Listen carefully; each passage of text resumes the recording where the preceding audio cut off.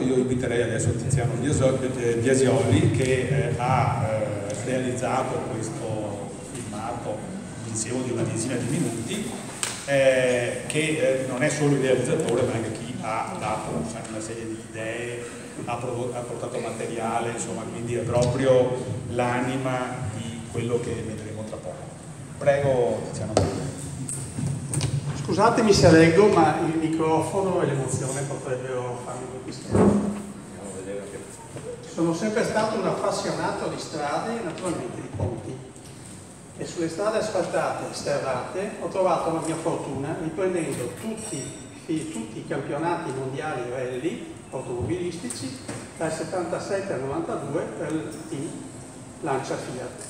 Successivamente mi sono dedicato al turismo culturale.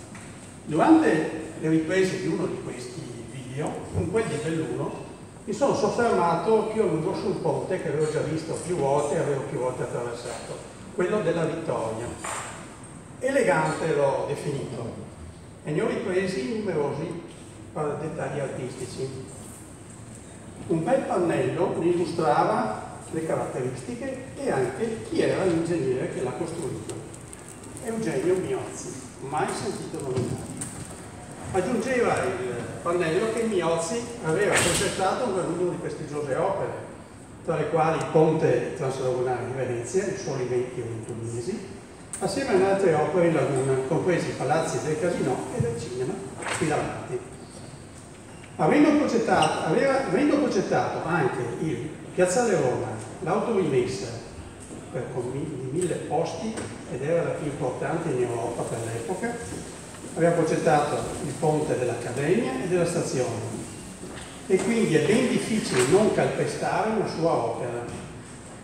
Mi è nata una forte passione per questo genio dei ponti e approfondendo ho scoperto che ha progettato anche gli ultimi 200 km montani della strada statale del Brennero, da Borghetto fino al confine, costruendo 12 ponti ha costruito il ponte d'uso a Bolzano con tecniche assolutamente innovative. E poi tutte le strade nazionali del Cadore, distrutte dopo la Prima Guerra Mondiale, compresi 20 ponti. Si trattava ora di mettere in video le sue opere ed ecco che è trovata una perfetta sintonia con l'Ordine degli Ingegneri di Venezia, nella persona di Mariano Carraro, col Collegio degli Ingegneri, presieduto da Maurizio Pozzato. Il risultato lo vedrete e mi auguro di completare il film con le opere del Miozzi, del Bellunese e del Trentino Alto Adige. Un doveroso ringraziamento a mia moglie Miranda, ai miei collaboratori e all'ospitalità della Regione Veneto.